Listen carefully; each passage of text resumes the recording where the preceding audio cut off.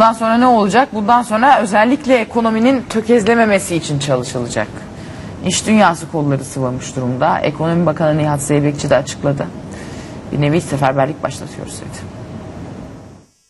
Laf üstüne laf koymak değil, taş üstüne taş koymak sloganımızla beraber hep beraber inşallah yolumuza devam edeceğiz. İş dünyası seferberlik ilan etti. Amaç yurt dışında Türkiye ile ilgili oluşan negatif algıyla mücadele etmek. Ekonomi Bakanı Nihat Zeybekçi oluşturulacak yol haritasını belirlemek üzere aralarında TOP, DEİK, TÜSİAD, TİM, MÜSİAD, YASET gibi iş dünyasının önde gelen 13 sivil toplum kuruluşunun başkanlarıyla İstanbul'da bir araya geldi.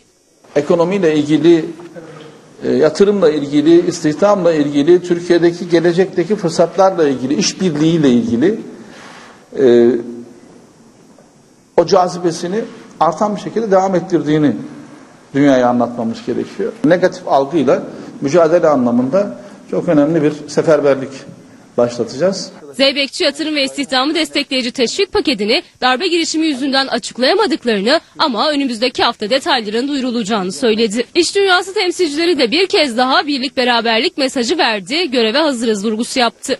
Şimdi belirli ülkelere e, ziyaretler gerçekleştirilecek. O ülkelerin Türkiye'de güçlü olan e, firmalarının belki temsilcileriyle, CEO'larıyla da gidilecek. Yani buradaki yaşam anlatılacak. Bizler de ona benzer çalışmayı o çerçevede kendi alanımızda yapmayı düşünüyoruz. Türkiye'deki çok yeni uygulamaya konulacak olan yatırım teşviklerinin ve ihracat seferberliğinin e, müjdesini verdi Sayın Bakanımız. İnşallah bu toplantının bir an önce yapılıp e, özellikle e, Sayın Başbakanımızın başkanlığında daha sonra da Bakanlar Kurulu'nda bunun kararı alınıp kamuoyuna açıklanması bizim için gerçekten önemli bir müjde olacak. Zeybekçi Rusya temaslarına da değindi. İlişkileri 24 Kasım öncesine döndüreceğiz dedi. TÜRSAP Başkanı Başar Ulusoy da yeni dönemden ümitli. Onların Türkiye'ye karşı bir hasretleri var. Onlara en rahat gelebileceği ülke Türkiye. Bizim de onlara ihtiyacımız var. Ağustos, Eylül, Ekim'de gelecek olan sayı 500 bin 600 bin civarında olur ama gelecek yılın hazırlığını yapmak önemli.